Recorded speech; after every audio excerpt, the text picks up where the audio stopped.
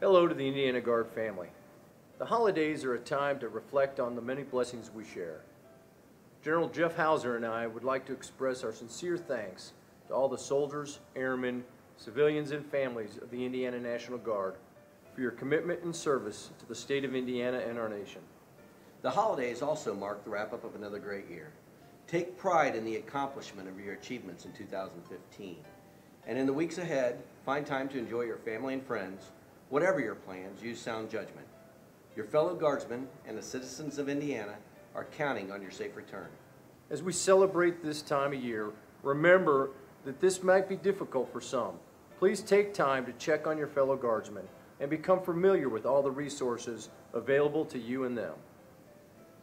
And to all the citizens of Indiana, Happy holidays from the Indiana National Guard.